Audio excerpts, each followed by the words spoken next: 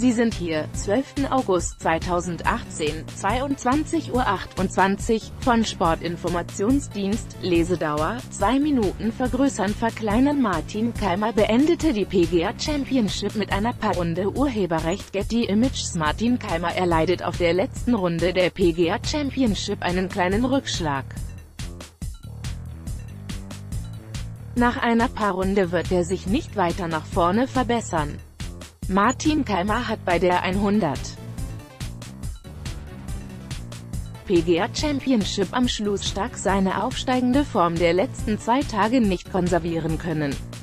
Auf dem Par-70-Kurs in St. Louis, Missouri spielte der 33-Jährige aus Mettmann am Sonntag eine Runde auf Platzstandard.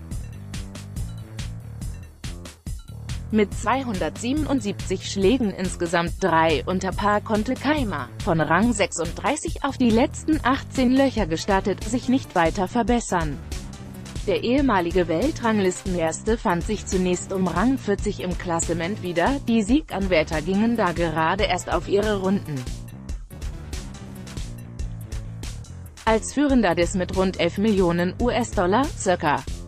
9,63 Millionen Euro dotierten Major-Turniers ging US-Open-Sieger Brooks Koepka USA mit insgesamt zwölf Schlägen unter Paar nach drei Runden in den Entscheidungsstark von Sportinformationsdienst.